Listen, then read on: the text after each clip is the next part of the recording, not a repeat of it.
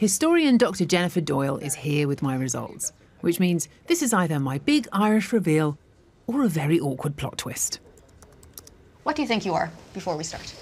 Um, I mean, I would just say half Irish, half English. Okay, let's have a look.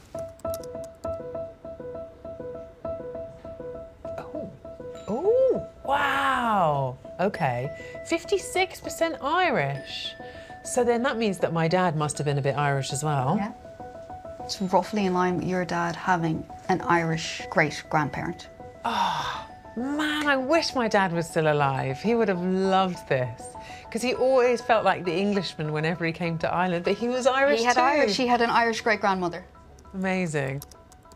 But if we're blaming anyone for my red hair, I reckon my mum's DNA has got some explaining to do. Oh my gosh, look how small that circle is. no. Yeah. So your mother, 100% Irish, and solidly Tullamore. Okay. We've gone back uh, three generations, sometimes four generations, on your mother's family, and Right. they're all just extremely Tullamore.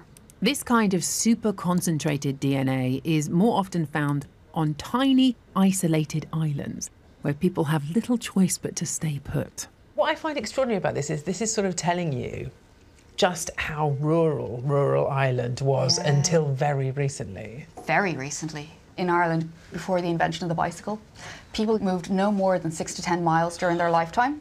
Wow. and they found marriage partners in that area. And some of them are on the land for a very long time. They're on the same plots of land. Jennifer's found public records that show my family were farming in Tullamore at least as far back as 1825. Here we have Tom Gary, Yeah. your great great great grandfather. Got you.